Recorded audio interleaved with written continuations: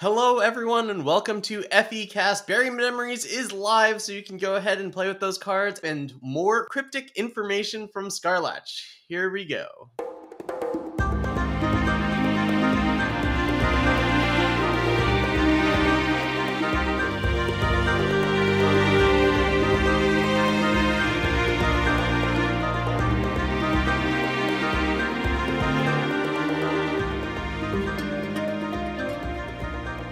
Hello, everyone, and welcome to FE Cast, the official podcast of Friends of Eternal. I am one of your hosts, Sunyveil, and along with me, as always, is fellow World 2020 competitor Stormblessed. How are you doing today? I'm doing great. I love that you, you know, you have you're giving the caveat now of 2020 Worlds because hopefully there's a 2021 season that me and Sunny will both make Worlds again.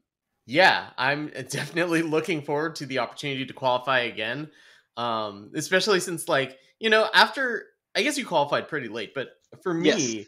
uh, after that, there were all these tournaments that you know I would qualify for the top 64 and then just not play day two or play one round before having to go about my day. But uh, definitely looking forward to uh, competitive Eternal again. I was actually talking to my girlfriend today and just saying how, you know, I feel like I'm just working and I'm not really working toward any goal. Like I'm working my job, but I'm not working toward any goal because there's no competitive Eternal that I'm doing. I'm not pushing a whole ton of content out.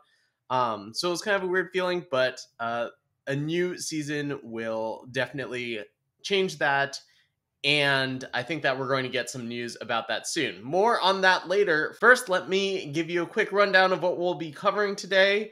Um, we have Buried Memories. We'll be talking about the rest of the cards that are in that. Stormblessed and I will give you our top few picks to make waves in constructed. We say top three here, but I see you have four cards listed. Of course, we will update you with what's going on with Tuesday Night Eternal because that is competitive Eternal until we get official word from Direwolf. And obviously, aside from that, you know, we're excited. It, as of the day of this recording, at uh, just uh, under what ten hours ago, Buried Memories was released to client, and we saw all of the new cards all at once, and we were able to play with them. Uh, Sunny, have you gotten a chance to play with uh, any of the new cards yet? No, I haven't actually played with them. I've just been trying to figure out the deck for uh, one of the new ones um, that is certainly very interesting. Um, but I haven't been in game with any of these cards yet. I, I, I built I built one throne deck with Hifos. Immediately was like, eh, I'm not feeling it. And then I built a deck with Volk, and I was like, this is the best. And uh, I just started tearing up the bottom, you know, go the silver three to gold one, baby. Just you know, the bottom of the ladder. But um, but no, Volk was great, and uh, I'm glad Forge Sanitizer finally seems like it's great because it's always been great. But you know, um, I, I think Force Answer always was great. I even I think I even said that in the original uh the original spoiler review for. I think a lot of people were hesitant on it than I was, and the answer is is that there just wasn't the kind of critical mass of sort of relic void interactions yet. And with Volk, which sort of you know has relic void interactions because it puts relics in the void, um, I think that Forge Sanitizer might finally have its time to shine. And um, yeah, I mean, so so uh, a couple fun things to do with Volk you you you obviously you play controlled demolition on Vulcan, you give it double damage and regen, and then you recur it, and now you have a seven five double damage regen, and you play laser blast on it. You deal for one power, you deal ten overwhelm damage, so you kill enemy unit, and you deal like eight to their face, and then you attack double dam, you know, fourteen damage, and uh, overwhelm is great, and uh, Volk is just fantastic. Anyways, yeah, well, I mean, I feel good about you telling me that information because it means I got a card prediction right, or at least so it seems, as far as we know so far. Yeah, but I mean, I, can't, I can't imagine Volk ever gets too bad. It's so it's a lot better than say, um, what is that? Like the the the three cost five five Sentinel and Fire that, that makes you discard a card when you play. Oh it. yeah, of course. It's just infinitely better. It's just so much better. Like just you know, even without its void recursion, just the fact that it has endurance and overwhelm yeah, and you don't have to discard a card is just is just better. And um, there's here's interesting interesting Volk interaction is Volk's heart is not attached to the specific copy of Volk. It can return any copy of Volk from your void. So I had a game where I silenced my opponent's Volk and then it died, and then I played um, Flash Fire on a different Volk which then gave them a heart finally, and they were able to use the heart to return the silenced Volk out of their void. So it's not like Beacon of the Reach, I think is the card, the one that makes you puts random cards in your hand, but they're unique to each beacon. Um, oh yeah, yeah. So there's there there are some interesting mechanical interaction with the Volk, but yeah, Volk Volk was just crushing. Just like every time I played a Volk, I just felt so good about it. Even playing Controlled Demolition on it because you get to recur the region as well. It's just Volk's just nuts. It's just nuts. You you were it, it might be better than Hifos, honestly. Um, Although, it, you know, I don't know. We'll see about that one. Yeah, but anyways, yeah, we'll we'll we'll, we'll discuss that a bit later along with other cards. Uh, but we also have a Tuesday Night Eternal update as always. Tuesday Night Eternal is chugging along fine. Uh, and you know, I hope that you all are tuning in or participating yourselves. So, Sonny, would you like to tell us what the results of the last few Tuesday Night Eternals have been? Yeah. So uh, last Friday, I believe, uh, Beowulf won with Cruel Cure, and that's pretty awesome. Like from a personal perspective, congratulations to Beowulf. But they posted a video of their gameplay in the Piloting Club, and I went through it and made a ton of comments. So could be coincidental, but also if you want to up your game and maybe win some Tuesday Night Eternals, you know, record yourself and put a video in the piloting clubs to have other people look over it. It's tough to do because, you know, you're really exposing yourself there, but I think it pays dividends. And this past week on Tuesday night, Spifferific won with AP Kira. So a good week for Kira in Throne. Yeah, I would. I, I, mean, I think that's that's an easy assessment to make. You know, as far as like level one decks post Sylex nerf, the obvious answer is to you know go to Kira, right? Because now Argent Kira a little bit uh, suffered more than um, Peru Kira because it actually has a Sylex, and uh, there were moments in that Spifferific was uh, punished, punished quote in quotes by having shadow sigils in hand. I believe was the who was punished with having shadow sigils in hand when they needed you know extra justice influence. Um, but as you can see, you know obviously the deck is powerful, and you know they managed to take it home even with some stumbles in certain games. Uh, aside from that, we also have uh, the Overmaster and Ip Longo have secured their wild card slot. Uh, what this means is that the amount of points they have, no, there's not enough people with points close enough that they could overpass these two. So these two have clinched their wild card slots for the final invitational at the uh, end of the season. Yeah, so congratulations to these four for securing their spots to the invitational. Next Tuesday night Eternal is going to be February the 19th. So uh, mark that on your calendars if you're interested in participating on a Friday morning, very early, uh, if you live in the US. I mean, I mean, it's supposed to be, you know, it's supposed to be um, for the, you know, the uh, Europe time, right? It's supposed to be for alternative time zones, which is nice that they're uh, allowing for other time zones have their day in the sun. Yeah. All right. Uh, so this weekend, to celebrate the release of Buried Memories, there's going to be a Scion draft. I know that Cassandrith is very excited about this. I got an at everyone from him for being in his Discord uh, announcing this. And uh, this one actually has some pretty cool perks to it. If you enter in one of these events, uh, you're going to get a Rizahn, an alt art Rizahn, and the art is pretty dope. It's like what it looks like if Rizahn is coming after you. And uh, if you can get five wins or more, you get an alt art Rizahn. So uh, good luck to those of you who are chasing this art, and good luck to those of you who just enjoy Scion Draft. Yeah, I I know that that I already enjoy Scion Draft generally, but with these alt art Rizahns, you know, the real question is like you know clearly i'm just so good that they'll just get four premiums right off the bat. But uh but you know let, let, let, i mean let, let's just say that i do hypothetically you know do i do i just hypothetically draft great decks and then concede at like four wins to make to get four regular copies? Or would i just keep pushing to get more alternate Rizahns and premium? Oh what a pain. I mean no. I mean the answer is that you know with scion draft it's uh, especially first thing it'll be very tricky to know which archetypes are actually the best. And also you know, because it's, you know, akin to like MTG Cube, uh, where I have been known to force Storm. Um, you know, I'm not, I don't often draft the best decks, so I don't necessarily expect to get four premiums right off the bat. Did you know, Sonny, that there is a card in the set in the Scion draft called Soul's Rest, and another card called Sea of Teeth, and a final card called Volatility. Oh God. they put it back in the Scion draft just for me. Tooth, tooth, tooth. Okay. I am sorry for everyone who had to hear that. Uh, so it, it is kind of funny to me that Rizahn is the uh, promo for this because it's a it's a um they say it's celebrating Valentine's Day, which I guess is also true. And Rizahn is like the closest thing we have in Eternal to a Cupid, which is oh, is, oh, is that what it is? Rizahn, Rizahn is. So wait, so what happened when Rizahn was drunk? That was just no one falling in love in Miria. Rizahn, was Rizahn drunk on love? That's the question. Oh, and for those of you who don't know, uh, I'm referencing. So there was the old graphical, uh, not issue, the old graphical quirk to Rizahn, where it you, where whenever you try to target something with its ability, it would just target something completely off screen or not, something in the middle of the map, just not what you meant to target visually.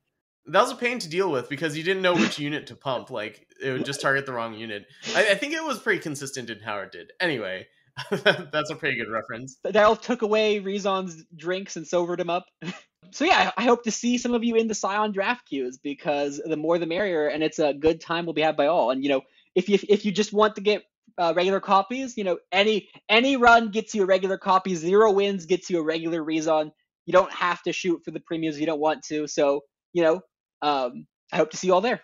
All right, let's talk about the rest of the cards in Buried Memories that we hadn't talked about in previous shows. So the first one's a big one, I think, and that is Midchief Salus. This is a two cost double fire, 3 2 quick draw, amplify 2, play Song of War. It's an Oni soldier. The Oni part feels like it might be more relevant than the soldier part, but uh, I think this card is really good. What do you think, Stormblessed? I mean, yeah, it just looks clearly better than uh, Rakano uh, Outlaw. I think is the card, right? Yeah. Which had which uh, they changed his voice line back in the day. It used to go "Draw, Mister" in a little high pitched voice, and I thought that was adorable, and so I loved it. Uh, but they changed the voice line. They made it like significantly worse by like nerfing it the voice line. Um, but uh, but yeah, so basically you're trading a point of you're giving you're giving a you're gaining a point of power. You're not trading a point. You're gaining a point of power, but you lose Warcry. But you can get that Warcry back for your whole team and you get relevant unit types. Now, Gunslinger, I think it's a Gunslinger, is a relevant unit type, but this one has potentially two relevant unit types. Uh, Sunny said Soldier's less relevant.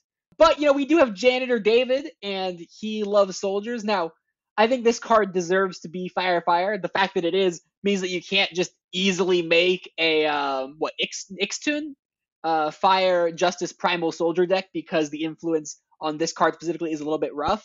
But yeah, Song of War for two is is a pretty big deal because you know for free, right? Just extra value. You know, if you just have four power, you can invest it into this card instead of having to you know use more cards from your hand. I mean, you don't have to, right? It's just a good card by itself. But like you know, if you just have a generic board and you want to play this instead of two two drops to try to get maybe some future advantage and not overextend onto the board.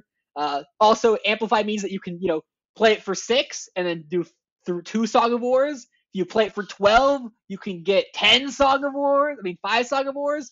And we are approaching Song of War Tribal. We now have this card, we have actual Song of War, and we have Aijin's Workshop. And we can say Shab Kazlu is an honorary Song of War. That's like 16 Song of Wars there. My goodness, that was a lot of useless information. I think you're overthinking this. There are so many times in fire decks that I would have loved to have a two cost double fire 3 2 quick draw. And that's all I'm looking at at this card, and I think it's great. It passes the Yeti Cookmaster test. Is this better than Yeti Cookmaster? Yeah, it is. Um, it's definitely better than Clodagon's Ascending, right? That's that's that's the card that was like, is this good? But turns out that one doesn't pass the Cookmaster test, and this one does. So this is going to be played on turn two a lot, um, and it's going to kill a lot of people. This, in combination with the um, what's the uh, the the Valkyrie that's a two one Berserk flying Reckless. Yeah, yeah, no, it's it's yeah the two one Valkyrie that that has summoned Plunder, uh, yeah. uh, Reckless Rocketeer. I think is that what it's called.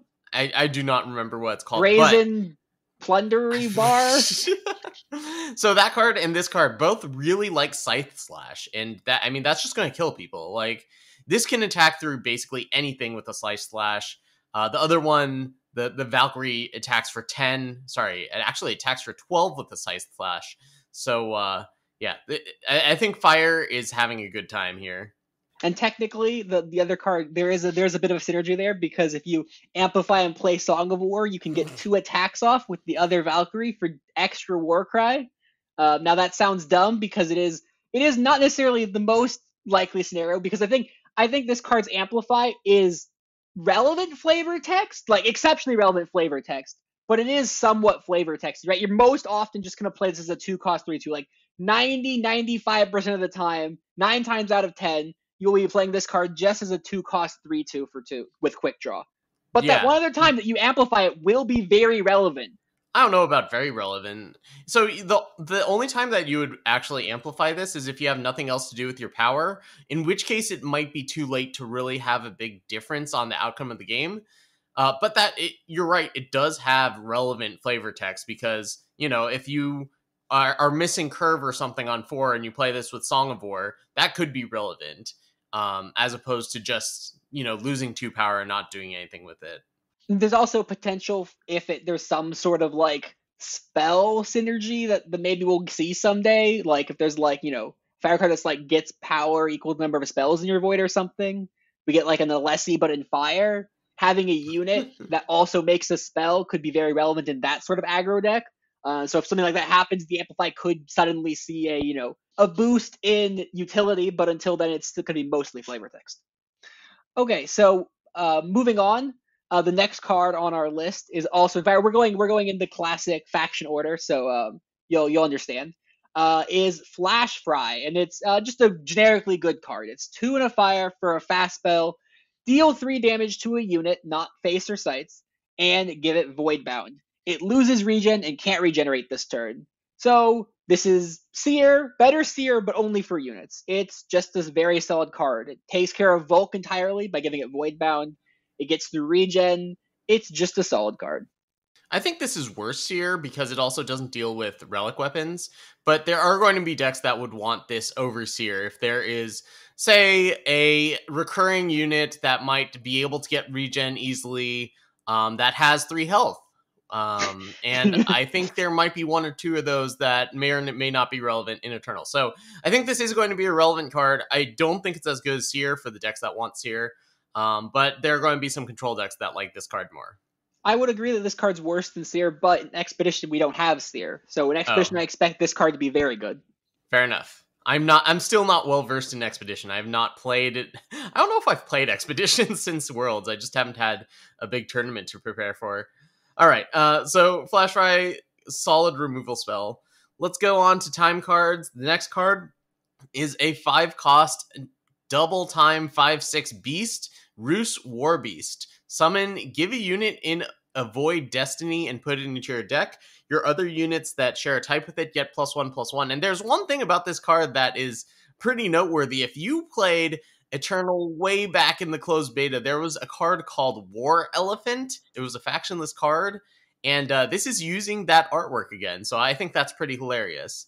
Um, War Elephant got a massive glow up. War Elephant used to be just a five cost, five four overwhelm, and now has this you know legendary stat line with you know, legendary effect. It's it got a massive glow up, and you know good for War Elephant. You know I can appreciate War Elephant putting in the work and becoming a legendary.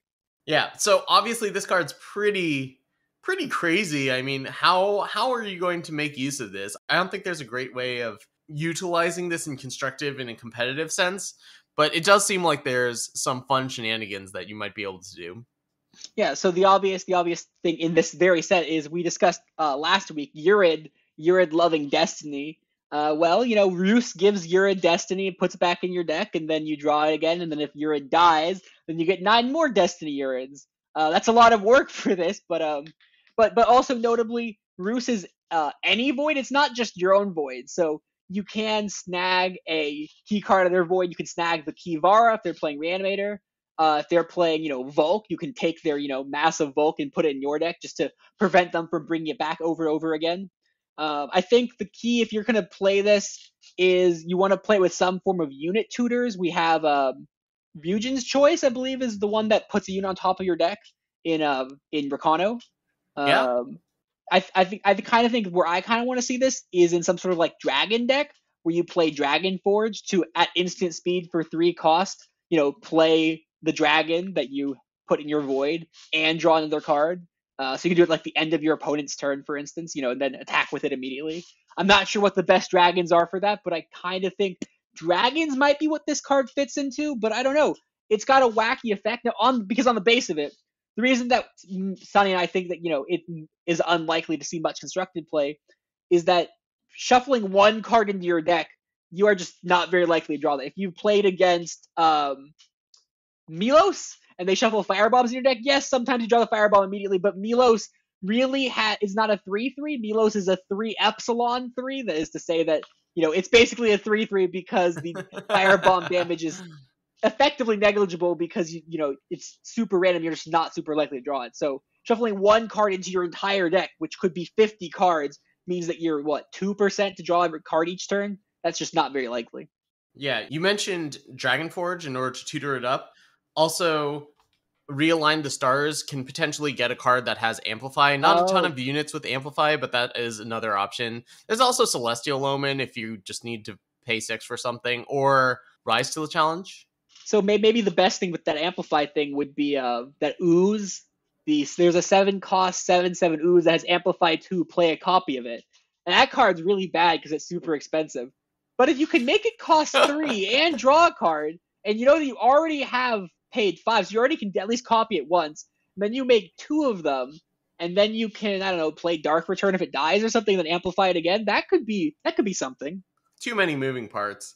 Yeah, the uh, the real issue is that like reanimation effects already occur at five, right? We've got the Mandrake yeah. spell that costs five. We've got near perfect imitation. We've got grasping at shadows, and like there are not very many worlds that putting a card into your deck with Destiny is going to be better than just having it in play, right? Like best case scenario, you get it in play and you draw an additional. You're gonna play again right? eventually, yeah. Well, just... I mean, actually, it's just the same if if you draw it immediately, which is not very likely. So, I mean, Destiny is just like such a crazy mechanic that, um, you know, they have to be careful with it, and they can't make it too good. So, so like this is probably just going to be worse than those reanimation spells, but it's it's really interesting to think about. Yeah, because it makes it's kind of it's kind of like the piercing grief effect. Um, does, obviously this card's a lot better than piercing grief, but my thought on piercing grief has always been that it's the card, it's the worst card in. The, obviously, get it for free off of Severin. That's a whole different story. But like, you just playing it straight up, it's the card that does the least in the game that most people played, especially back when it's first released, because it tricks you into thinking it does the most. Because you know you play it, you attack immediately, you get to gain three life, you get to you know deal three damage. It gets to go. Then it shuffles into your deck and sacrifices itself. Then eventually you, you gets to replay itself, attack again, and you're gonna draw another card, and you get another three life, and you deal another three damage. All while meanwhile nothing's actually happened. You just spent a card to effectively you know deal six and gain six or whatever and over like six turns. It's just so bad. Now this card's obviously better because base case scenario, it's a five cost five six. It has an actual body but Destiny can help trick people into thinking that cards do more than they actually do. You think of this as like a grasping at shadows, you know, delayed grasses you have to jump through a bunch of hoops for that comes with a five six. You know, you're putting in a lot of effort for just a five six.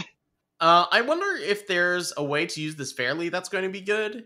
Like if you're playing some sort of tribal deck, but it's a beast and that's not a very common tribe, so like you'd have to split tribes on on this card. Um, like maybe if there was some sort of Grenadin or Totemite thing going on, but I I really just don't think so. I I don't think that's gonna work. It has out. a secondary effect. Oh yeah, it has has a random pump effect.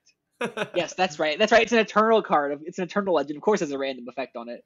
Um, I guess it. Oh no, is, is the is the is the is the law is the flavor that it's a, a war beast, so it's carrying the unit into battle and you know inspiring the others of its tribe or something. Is that is that the flavor here? That makes no sense to me. I'm trying. I'm look, I'm reaching here. I'm. Uh, what? What? Why is? Why does a war elephant shuffle units and give them destiny and then make other units bigger? Okay. You're always reaching. Okay, next card. Impound. Impound is a one cost time spell. Impound says kill a relic on the enemy player. Impound can't be stopped by Aegis or draw a sentinel from your void. So this is a really interesting card to have. It I don't think it's going to be that good, but it does place a check on strategies like World Pyre or like Sling of the Chi that rely on using transpose to protect a very central uh, relic or like throne room, right? It, it's a check on those types of strategies in case any of them get too good. Now, I don't think any of those strategies are running rampant right now, but it's like an interesting way of of keeping a check on it. I'm not sure how I feel about that because, um, well, I don't know. I, I just like various strategies being viable and and this kind of like shuts down most most strategies that would involve relic plus protect it Um, but on the other hand, maybe Relic plus protect it just like doesn't lead to good gameplay scenarios, which is a possibility I'm willing to entertain. Um, so I'm like really torn on whether I think this card is a good thing to have in the game because it provides a check on a type of strategy, or if it's bad because it just provides a check on that strategy and makes it so that those can never be too popular. I think it's actually a very interesting point. I think overall I like having checks on strategies, so I think this card is probably fine. I didn't think about how it deals with a bunch of these single relic tries. I was just thinking about how it deals with you know rat cages and stuff and Volks. um, like like I gotta get rid of those Volks, those Volk hearts. I got Volk on the brain. Um, I'd say this card's flavor is good. Look at it; it's a flavor. It takes something away, or you know, it gives you back something from the pound. It, it's got flavor all over. Unlike that War Elephant earlier, I think flavor is important, Sonny and I will look as deeply into the flavor as I want to. Anyways, I think this card's potentially main deckable in a Sentinels deck. It obviously, you know, you put it in like the market of a deck potentially. The main impediment between main decking this would be the card Restorative Process, which, you know, is a similar card that, you know, costs two, but it also draws a attachment from your void, so you'd have to be sort of playing a Sentinel deck that's not playing attachments or does not care about recurring attachments, which with the advent of Volk, if you're playing a Time Sentinel deck that doesn't care about attachments, seems kind of iffy. So maybe this will be in like the market, in a time market for a deck like that. I'm not exactly sure. It, the fact that you know it's a it's a choice card makes it powerful, but you obviously have to be playing Sentinels for that choice effect to happen. Obviously, you probably aren't going to play this by itself. I guess it's slightly better than the From card that's just one cost kill and a relic at fast speed. So this is this is not fast speed, but going through Aegis is a big deal, as Sunny said, right? Because there we have seen this transpose action in the past. Uh, notably, this doesn't kill cursed relics though. So if your opponent plays um, the six cost one that that ramps up, what is that card called? Uh, restrained action. Restrained action. If they play restrained action, you can't kill it. However, I do believe that if you play a cursed relic on your opponent, you can kill that because that is a relic on the enemy player, which could theoretically be relevant. So in my experiment with Volk this morning, I found a card called The Angelo Strongman. Strongman indeed. I think it's Strongman. It's a three cost four one rogue that has Entomb. Play a urn of choking embers on the opponent. It's an aggressively statted unit, perfect for some sort of you know aggro-ish type deck like Volk might be with its aggressive stat line. And it puts a random relic on the opponent that can help with aggression future or to be sacrificed for Volk. Now, now this is my reach here. So it dies, and you put the urn on the opponent. You impound the urn, so your forge sanitizer becomes a five-five. Now that is awful, but it is a very funny interaction. Uh, so what do you think of my awful, my awful interaction here? You know, I never would have thought about it, but the fact that you can grow your uh, forge sanitizer, like that could be relevant. Like you just need to get the extra few points of damage for the last attack. So, uh, as much as I would love to facepalm for that, I, I, think that's useful information. All right, let's move on to some of these justice cards. Uh, the first one of which is Smite, two cost justice fast spell, kill a unit with different attack and health, current health. So uh, this plus a relic weapon is going to be able to kill anything. Um, it already kills a lot of cards. I feel like they've been releasing a lot of cards with different attack and health recently. Yeah, I think this is just going to like you'd have to do a breakdown of what the common cards are in the format, but I have to imagine this kills enough things and you can combine it with any source of damage to kill anything and that makes it good enough for competitive play. Yeah, my, my early inside sources have indicated that Smite might be very good, which I wouldn't necessarily be surprised by, especially in Expedition. Having just alternative options for removal spells is powerful. Just you know, just just being able to tailor your removal to the metagame, I think is really really nice because it also enables rewarding uh you know good deck builders, right? If you have to choose between your removal options, you choose Just Desert, Smite, Vanquish, Edict of Kodosh, you know, which what, you know, justice two cost removal spell you're gonna put in your deck. I think, you know, being able to be rewarded for knowing the metagame and knowing what removal is best right now, I think is is a nice thing to have in Eternal. So I think that, you know, if this card cost one, I think this would be like, you know, not necessarily a power creep, but would be just like, you know, substantially better than a lot of other justice removal. But costing two puts it in line with a lot of the other conditional justice removal. Um, one interesting interaction here that I think will come up quite a bit, especially in expedition style control decks, is with a Lord Styres Tower.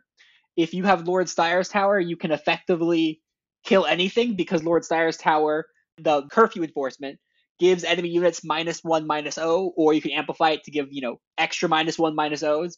And the fact that you can tailor, that means that you can basically make it so Smite can kill anything. So being able to say shrink your your opponent's board by three attack and then killing their largest thing that still exists, I think could be exceptionally relevant. I think this card's just just like Flash Fry, it's just a good, powerful removal spell that we will see in Expedition a fair bit. Yeah, I suppose I was thinking about uh, Flash Fry and, and how it kills things with regen. If you do have a source of damage, you won't necessarily going to be able to kill something that has regen that has equal stats. But thinking about the regen cards, I feel like most of them have unequal stats anyway. That's beside the point. Yeah, I, I think that this is going to kill a lot of things. Let's move on to the next one. The next one is a three cost Sentinel Injustice. Uh, it's a 3 3 Fort Smasher. When Fort Smasher hits the enemy player, play a unit with cost 3 or less from the top 3 cards of your deck, discard the rest. Um, to me, this seems like a card that could be reasonable in, in Expedition. I think it's behind the curve in, in Throne, though. I don't think it's going to see any play there. Yeah, when we discussed our next card, I think the next card might pair very well with this card uh, when we talk about it. But um, this card has a powerful effect. You know, you could sort of almost compare this to um, the three cost three three that when it attacks you draw a justice sigil, except that this card's you know this card's similar in that it's a three cost three three that has a sort of attack card draw effect, but this card is different because it has to hit the enemy player, and then it has a much more powerful effect, right? In a lot of ways, you can compare this card's uh, a hit trigger to you know Janitor David, um, in that you know a lot of your soldiers are obviously going to be units with that cost three or less, just because that's just how the deck functions and the fact that you know this card you know it, instead of just drawing you play it outright which is obviously better in most cases um, you know if you hit if you imagine hitting with fort smasher then you know playing a Maveloth Huntress off the top and then attack, killering with 5-4 attack, right? That sounds excellent. It's the top three cards of the deck, though, so you obviously have to be building towards this card. You have to have a lot of cards that cost three or less units specifically, because three is not necessarily that many. Discarding cards is also useful though, so it's not like that's the end of the world if you just discard a bunch of stuff that you can then utilize that aspect of it. Uh, I think this card is potentially very powerful. You know, three cost three three is not necessarily the best stat line ever, but it has a very powerful uh, on hit trigger. So I could see this card trigger, and it has a relevant unit type in Sentinel. Yeah, I mean, if you hit with this and you get a three drop from your deck, and your opponent isn't playing with sweepers, the game's probably like close to over at that point. It's such a ridiculous swing. Um, but you have to keep in mind a third of your deck is already going to be power, and then you're going to have some interactive elements that aren't going to contribute to uh, hits off of this card, and it's only three cards. So I mean, this is really this is this card's really swingy one way or another, right? I, just to reference just to reference a bit of math for for the janitor over here. Um, janitor has top four cards in your deck, and uh, the rough calculation that I did was that if you have 24 cards in your deck, you have approximately 80% chance to draw a card with Janitor. This card being top three means that, you know, if you have 24 units that cost three or less, this card is less likely to hit and draw a unit than Janitor David. So you might need to have like 28 units that cost three or less. Now, the upside there is that unlike with the janitor fort smasher itself can you know play a second copy of it so you so it counts itself for that unit thing so it would be you know effectively you'd only need um between what 24 other cards. So just like the janitor, roughly, uh, you need to be playing 24 other hits for Fort Smasher, just like how janitor needs 24 other hits for itself. So you can kind of think of it like that, although it, the math might need to be worked out a bit more massaging. Yeah. All right. So this card would be greatly helped if it had some evasion, um, particularly from a card like this next one, Jetpack. Jetpack is one cost Relic Injustice. Once per turn, you may pay two to give one of your units flying this turn. If it hits the enemy player, they can't play spells until your next turn. After the third use, sacrifice jetpack. So this is pretty interesting. It's it's pretty expensive to a turn to give something flying. Um, seems just worse than Elder's Feather to me because uh, you they still get to play spells on your turn, so they can still play fast spells like Smite or Flash Fry. Um, but I guess if there are powerful slow spells that a deck wants to play, like it could really put be a thorn in the side for that case. I don't think that this is going to be very good unless you have uh reasons to want a one cost relic, like strong reasons to have a one cost relic. I don't think that like just playing it at face value is is good enough. Um, but Stormblessed, you sound like you might have a, a, use for this. Well, you were just saying that you know you you, met, you mentioned Fort Smasher Smashers if only it had evasion, but you also said you know Fort Smasher if it hits in and then it plays a unit, you know the opponent's just dead if they don't. You know the opponent just is kind of get buried soon if they don't have some sort of sweeper. Well, if only your evasion could also deny your opponent playing sweepers at the same time. I think this card is fairly powerful, especially in say Expedition, where uh, you know relics do matter. You know relics that sacrifice matter. Uh, just having the extra relic left around. You know, like I have played this. I put it in the market. I'm not sure if it's a main deckable card. It might it might end up being. I don't know. I've seen people that are main decking it, but it seems um, so bad in multiples. Yeah, that's kind of what I was thinking. I think I think you'll you don't need it in every matchup as well. So that's why I like it in the market. It's a situational effect. So I put it in the market. It's also a cheap cheap situational effect, which also makes it good in the market. Um, like you know, I gave I gave my Volk flying and I attacked in, and the next turn my opponent killed the Volk, and so then I just activated the Volk and I sacrificed that jetpack to bring back my now larger Volk. Um, and it was just it was just you know a fine little exchange there. You know, I I delayed them. They killed my Volk, and then um, you know I um, I just got just got value off the jetpack on the on all the angles. Uh, it's interesting the jet. I guess oh is oh the flavor of the jetpack is that it runs out of fuel. Is that the flavor of it? You run out of fuel, then it breaks apart. I guess so. I love that we have a card called Jetpack in Eternal. Like that, that's just a fun thing, right, Sonny? Yeah, that is. Who doesn't love jetpacks? Um, I guess you're right. Like, it does seem like it could be situationally very good. I, I could see this being a like reasonable market card for for decks that can use it multiple ways. That's the kind of card that I like in in uh, in Eternal in a lot of ways because you know making us have to have hard deck building decisions is is really excellent, and you know having to utilize situational cards like that's why I love markets. If markets didn't exist, if, even if it was like sideboards, I don't think this card is like a sideboardable card in a lot of cases. And like you like magic, I mean maybe it would be in certain matchups, but I really like that in markets you can you know tailor what you need for the given situation. You don't have to like put it in your deck and you know hope to draw it where you might not need it at that given point in the game state if you were playing a sideboards. I think that you know this card's a better market card than it would be a sideboard card if Eternal did have sideboards.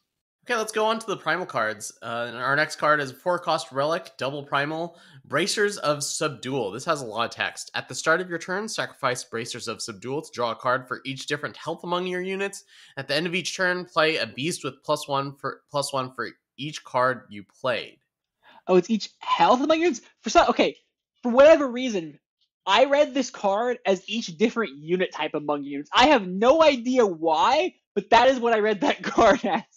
I, this this card's just pretty crazy. I mean, yeah, maybe you could see it drawing a few cards for you, but you have to wait for your opponent's turn in order to draw the cards. I guess you do get a pretty good payoff after that because you can get like a three a two two or a three three beast after it. I don't know. Actually, that doesn't sound very good to me. So like, draw a couple cards maybe if you have a board, and get a beast if you play cards after that. So I think this one's pretty unspectacular. Oh, it's play. Wait, for each card you played, not each card you drew. Yes. I was thinking each card you drew. Okay, so now you're learning, by the way, FE Cast, that I misread everything about this card. I misread how it drew cards, and I misread how it played this beast. But I did read that it was in fact a beast. That is the one part of the card that I read properly.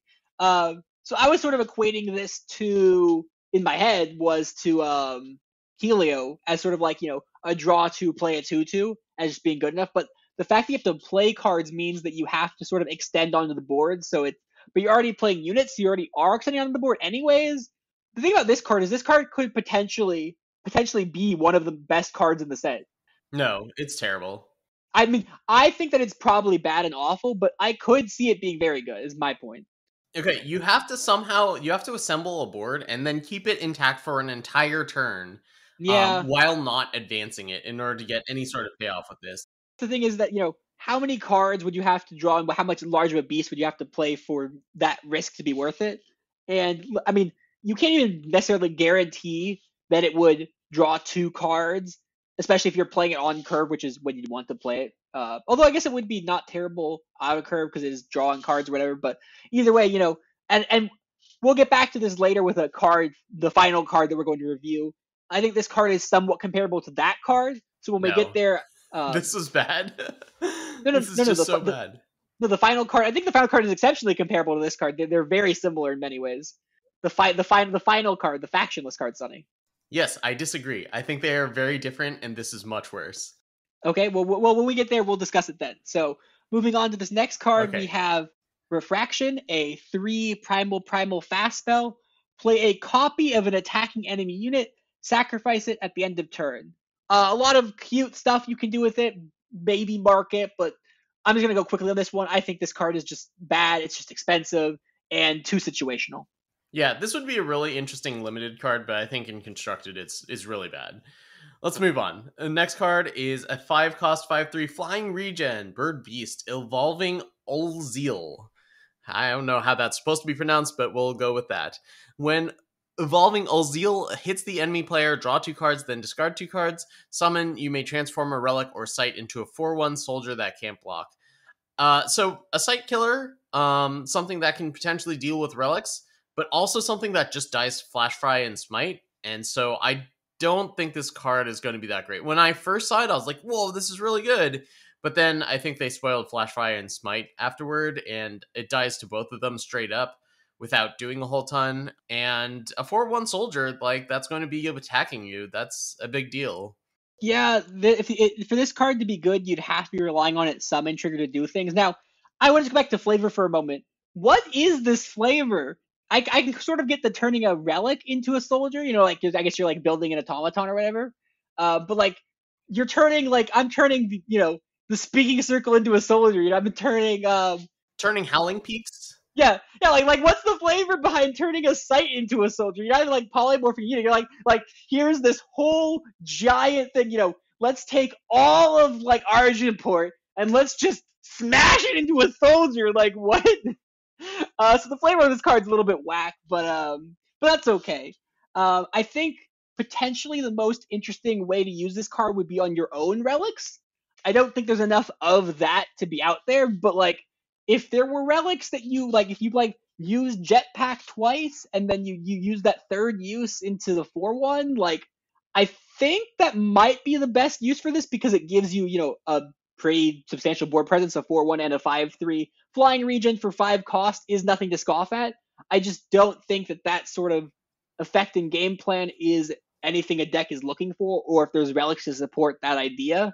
Um, but I think that's where we go with it. Like, I guess it's also cute with like the speaking circle because, or or it sites that pop and you don't care about their uh, abilities anymore because if they pop, then you can use them the site. But obviously, sites don't necessarily pop that much. Um, so just a overall, just like an awkwardly situated card. Yeah, it's certainly powerful. I wonder how it works with cursed relics. Although I think your opponent would get the soldier, right? Well, it depends. If you played the cursed relic on the opponent, you'd get it. But if they played yeah, it on okay. you, they should get it. I believe that was how it worked. Although, you know, maybe it doesn't. Maybe if it didn't, that would be really funny if this card just randomly hosed cursed relics. Although, although actually, cursed relics are the one thing that you put on the opponent that oftentimes you you're just like free to take off the opponent. Uh, you wouldn't mind that much. So maybe Curse relics are the way to go with this card. Um, it's an interesting effect it, it has sort of a powerful on hit effect, but it's also kind of it's weirdly not vulnerable at the same time being weirdly vulnerable. Like it, it's it dodges a lot, but also is vulnerable to like it's like Senate Agent kills it. If this card was multi-faction, then it might even be more interesting because then at least would dodge Senate Agent or Annihilate. Yeah, well, I mean now it's also dying to Flash Fry and. Yeah. So like even in Expedition, I kind of agree. The common removal is going to target it. Yeah, yeah. If if it finds a spot where in the metagame where there's not a ton of removal that can hit it, I think it can do a lot of work. I think it's a very impactful card, but I just think that a lot of the time it's just going to eat two cost removal, and that's pretty bad. If you're playing a uh, five cost card that eats a two cost removal that you know gives your opponent board presence, that's not a good exchange. Which is again why I think that you'd have to give yourself the board presence, but that state is hard to do. So, anyways, moving on, we're moving into Shadow now, which is uh, they, they got a little bit shafted compared to the other factions as far as interesting cards and good cards. Um, so the next card is Hired Muscle. It is a five shadow shadow six four giant rogue, so two almost irrelevant unit types. And one of your units with two attack or less attacks deal one damage to the enemy player. So every time you attack with a Grenadin, it deals an extra damage effectively. And then it also has Valkyrie Warp Lifesteal. So all in all, this card is awful. It gives us Valkyrie again. It tells us that Daryl was not done with that mechanic and the card's also just not that. Although, although actually, I guess the the synergy is that you know when it gets life steal, then it's it's a attack trigger because it's dealing the damage. You gain the life back. Ooh, it's so fancy and synergistic with itself. But this card's gross. I don't like it. Yeah, let's not legitimize it by discussing it further. Yeah. Next card's actually probably the most interesting shadow card of the set. Dark Purveyor is a four cost 5 3 double shadow cultist. The first time you deal spell damage each turn, play a 1 1 Grenamender. Summon, give one of your other units plus one attack for each unit in your void. So it simultaneously um, makes a small unit into a big threat. Well, potentially. And while providing fodder. And um, the night before this was released, I guess that's last night. Jeez, it feels like a really long time ago for some reason. Um, I, I saw the boxer tweeting out uh, I really hope there's some Grenadin, good Grenadin fodder in this set, and this is the closest thing we have to it. And I don't think it's good enough, but it's, I mean, like, it's interesting. It's, I, I don't know if there's enough spell damage that you can just keep on firing off that will trigger this in order to get an army of Grenamenders, and even if there is, if that's good enough, because Grenamender is not very exciting. I really wish this card wasn't the first time; it was just every time. I mean, you know, I guess I guess that they're trying to put a safety valve to you know not make sure nothing goes crazy. But like this card probably could have been safely anytime you deal spell damage, right? Yeah, I agree. I I, I really like this card as a design. Uh, a lot of people like it's it's like a lot of people like it's really awkward because you you play it on four and you're not going to have many units to pump up. And I'm and I'm like, well, I see it a little differently. A, you, you might have some in the void, you just incidentally get some value turn four, maybe that'd be great. But I see it as the first ability is good in the early game, and the second ability is good, you know, or early mid game, whatever. The second ability is good later in the game, right? When I say better early, it's because the one ones are going to be, you know, probably more effective early when you want the sacrifice fodder earlier, and the fact that um, you're not going to, you know, have you're going to have the spells in hand in the early game, whereas later in the game you might not have spells in hand anymore. And then uh, uh the second ability is better in the late game because that's when you're going to have a bunch of units in the void. So you know, it's kind of like the the classic thing of you know what makes a two drop good is a, it a, you know good early, it's good late. Like Jarl you know, Jarl's good early in that, you know, it can draw a card or become a 3 5, and then late game, it can kill the opponent, right? That's why Jarl is so good. You know, uh, Wump is great because Wump starts dealing one damage to small things and then becomes a 6 6 really quickly. You know, having that, that's sort of the benefit. Like Maveloth Huntress, you know, can kill small things early and then later you can imbue onto bigger units and then kill big things. So, uh, units that can do double duty are very good in that capacity.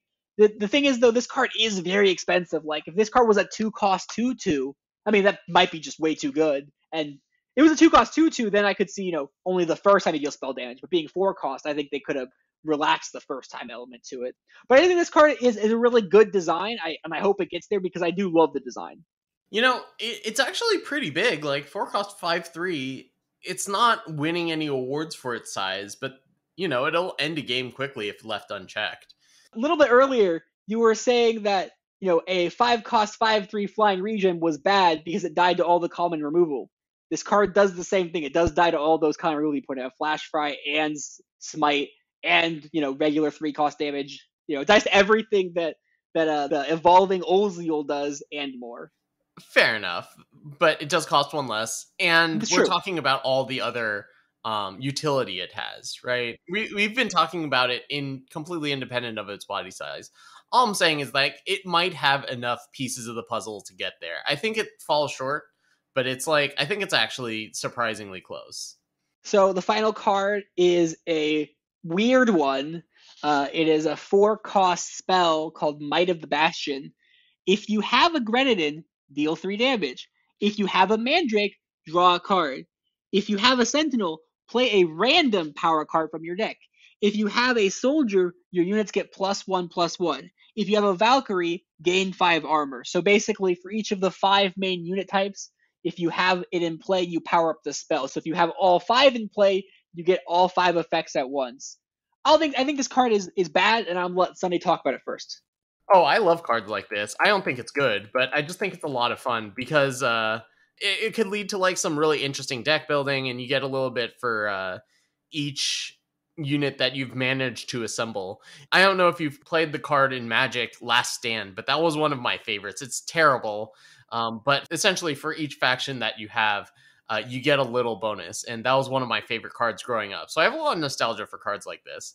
I think if you can do Grenadin Sentinel uh, regularly, it's actually not bad. Or, or, like maybe Grenadin Mandrake or all three is is interesting. The, the Soldier and Valkyries I'm a lot less uh, interested in.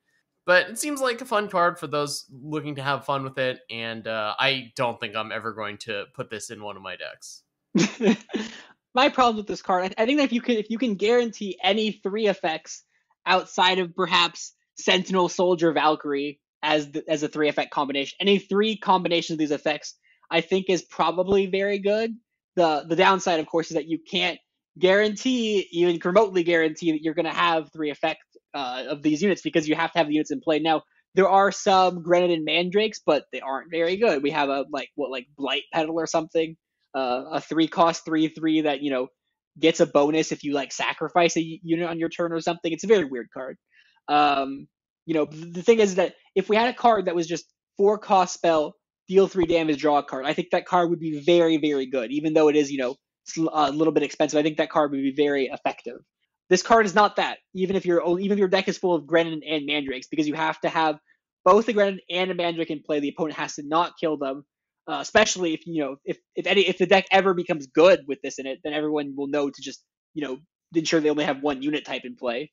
The downside is you know you have to have they have to have the units in play. And the reason I compare this to the other card, the Bracers of Subdual, is they're both four cost benefits. They're both four cost bonuses that rely on you having units in play. You have to have enough units in play for both of them, right? So if you if you have two units in play, you get two effects off the might if you have two units in play, you get to draw two cards off the bracers. Kind of, sort of, maybe. Because it's it's conditional what units you have in play for the bracers, but it's also still conditional what units you have in play for the might of the bastion, right? I think they're both probably terrible, and I don't really care to try to analyze which one's worse. But that is why I think that they're similar cards, Sonny. Well, the reason why I think the other one's so much worse is because you give your opponent an entire turn to. Yeah, that's fair. All right. So that's the rest of the cards from Buried Memories. We're going to go through the cards that we think are most likely to impact constructed. I said top three cards, but I see, oh, nope, there's still four cards in. Nope, there's, well, okay, you're cheating.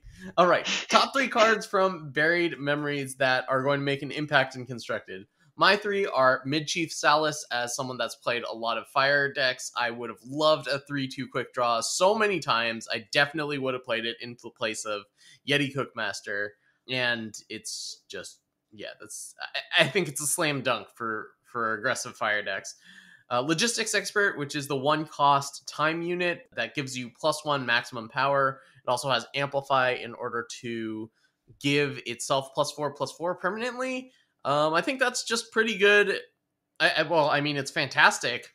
It's fantastic on turn one, but um, I think it's definitely got good scalability, and I think that it's going to be in a lot of decks. And finally, my third is Volk, which Stormblessed raved about early on in this episode. I think we're going to see a lot of Volk, and I think the format is going to revolve around Volk uh, to some degree. I think it's going to be a big player for uh, for a while, as long as the power bases can support it. My third pick on my list, I have picked Flash Smite. I have changed my mind. Now it's one card. See, I'm picking I'm picking half of Smite and half of Flash Fire Fry. I keep want to say Flash Fire, but it's Flash Fry. Yeah, um, well, I um, think the the idea is that you're cooking a mandrake. It's so Oh, okay. Yeah, and Flashfire is already a card, right? So I I I'm I, I, I, I'm, I'm doing a little, I'm doing a little bit of cheatiness here, but I'm, I'm basically saying, you know, the two cost, um, conditional-ish removal spells are both good, right? I don't, I don't really want to pick one over the other. If I had to, I probably would go for Flash Fry over Smite, but, um, but you know, it's obviously context dependent on the deck or whatever. And then I guess I guess based on day one impressions, I'm gonna put Hefos in my number two slot. Hefos being the um, tradition, the time justice primal one two flyer for one with amplified, do a bunch of things. And then finally, the number one card on my list, I have come at least on day one impressions, I have come around to Volk being better than Hefos. I think Volk is really good. I think that there probably are enough ways to deal with it with things like Flash Fry and turn one adjudicator's gavel when you're on the pl- when you're on the draw and your opponent just puts gavel on you randomly like that was brutal. But it's possible that Volk might be nerfed. I don't say that very often, and I've only played you know a couple games and it is day one impression, so who who even knows? Um, but like when I read Volk, I just assumed Volk's heart drew Volk out of the void, you know, give it plus two plus two. I was like, okay, you know, you get some long term value. The fact that Volk's heart just straight up plays the Volk for three cost. Yes, you have to sacrifice a relic, but that's not even really that much of a downside because you know there's a number of. I mean, Okessa's audience. You know, you already got the plunder off Okessa's audience. You know, if you have two Volks, they just work with each other really well, especially when you restorative process in the future. Just the fact that you know it's just it's just so efficient to bring back the Volk. It's just really good, Sonny. It's just really good. I don't feel like it's quite at the level where it would need to be nerfed, especially now that we're getting Flash Fry, and I think people are going to pay a lot more attention to Volk. Like once it gets on people's radar. I did a brief glance at all the cards. I don't think any of these cards are nerf worthy. I don't think we have any Shavkas in this set, but I like I could definitely see Volk just leading to a very repetitive play pattern. Like you know you have enough relics to to begin your game to to set up and then you play your volk and then you just keep on playing volk until your opponent dies i understand your point but if, if there was one card from the set that would be nerfed that you thought had the highest chance of being nerfed would you say it's volk yeah it'd probably be volk i think the second closest is fort smasher just because of how swingy it is but yeah i think it would be volk yes it's just good you guys should play it what do you think the chances that mid chief Salas uh, gets nerfed to 3-1 like I think that's pretty likely. Ooh, a three-one mid Cells. Um, I mean, if it being a three-one, it wouldn't. I mean, I guess I guess the, the answer is you know Direwolf loves making aggressive cards die to snowball. yeah, exactly. Like all of the fire cards, uh, mm. the Tota Pioneer, right? It was a one-two, yeah. got nerfed to two uh, to one-one. Um, the Thunder of Wings was four-two. Now it's uh, now it's a one-one. The cut um, purse. They, yeah, yeah, yeah. So like, was it two two? Now it's a two one. Yeah. So they they really like making fire cards X ones. It was an eight two. Now it's an eight one. overwhelmed. Uh, yeah. So like, they really like giving it more of a weakness because like that's that's a type of thing that can be difficult to combat. Uh, I think that giving it one health wouldn't even be like compared to even those other cards. I don't think it's even that much of a downside because quick draw it could be like a three, you know, negative two, and then if it, you know, didn't, if as long as it just didn't die until it was poked, I don't think it would really matter because um, quick draw means that you're not attacking it unless it, you know, uses the quick draw anyways for the most part. You're not attacking into a three four without a combat trick, unless you're bluffing, obviously, but that's a different story. Yeah, I actually think that might be slightly more likely than Volk, but ooh, interesting. Yeah, I think I think more people are going to pull their hair out from Volk than Midchief Salus when Sonny's saying that he's basically saying that Midchief Salus is like a two percent chance of being nerfed, and Volk has like a one point five percent chance of being nerfed. You know, he's not being like one has a forty, one has a fifty percent chance. He's he's going low percentages here. Yes, I, I think it's more than two percent, but like I. Don't know. I think there's a fair chance that Midchief Salus is nerfed. You just look at what they've done with fire cards, and it would be consistent if it was a 3 1. Like Clodagh is also a 3 1. It would still be good. It would still be fantastic. I would still love to play it. Clodagh is so embarrassing, though. Anyway, so final piece of good news. I mean, cryptic good news. We have another announcement of an announcement from Scarlatch, this time with slightly more specific information than the Reddit post. This time we have a known uh, community member, Acer Asher, uh, who I think got second place at last week's Tuesday Night Eternal. So congratulations to them they were asking about, you know, the timing release of set, right? This was this was in the wee hours of the morning. People like, when is set release? I have drums. I have drum emojis on my side. Give me set. So then uh, Acer Asher said, but is the news about the new competitive season also almost there? And Scarlatch said, sounds like it'll be ready early next week. So I want to say Tuesday, but it could be Wednesday, or it could not be ready, and then we could get it some later next week. Or maybe this is another soon, and we'll get it two weeks from now. But if Scarlatch is on point, which we hopefully is. Uh, then we have early next week, which is exciting, right? Yeah, really looking forward to this. It'll give my life meaning again. oh my goodness. I'm kidding, of course. But uh, it will be awesome to have another competitive season. It also means the launch of the Team League. I'm still getting that set up, uh, talking to some people about it. Uh, there's going to be a cash prize. I'm not quite sure how much it's going to be, but it is going to be like a significant amount, like equal to a good finish at an ECQ. Um, for a team league that is going to go on during the next season. We just have to figure out exactly what's going on next season so we can mold the team league to match that. I'm super excited about it, and you should be too. And in preparation for that, you all should join the FE Discord, which is, and since things, things Eternal starting to come back up again, it's time to start plugging the Discord a bit more because um, it's the best place to be if you want to get better at competitive magic. Not magic. Why is I, I haven't played magic in like five, like I haven't played magic in like six years. Um, okay, I will admit I have been enjoying watching some Tibalt's trickery and Tibalt cascade videos just because I think it's really dumb and I like watching the really dumb stuff. Um, and I like watching him complain about things as well because that's always fun. Um, God, I, I haven't played Magic in so honestly Magic. Oh my God, I don't even know where I was with that. Anyways, join join the discard, whatever. Okay, like before I started playing Eternal, I was not. Well, I don't know. I I I, I wouldn't say I was terrible at Magic. I won an SCG Open, but I got a lot better at Magic through playing Eternal. Although that probably predates the Discord, to be honest. Um, I, I I spent a long time not playing Magic, and then I qualified for my first Pro Tour after like two years of just Eternal. So, um, you know that that that that assertion you made earlier might be true after all. I mean, I mean, I guess it is sort of true. I think if I did go back to Magic, which I have no intention of, oh, but if I no. did, I probably would be better at Magic now with with after my experience. with That now there are different games, uh, and you know, different ways I have to learn about sideboarding again. Um, but um, you know, like in Magic, I was I was nowhere near close to you know the level of gameplay in Eternal.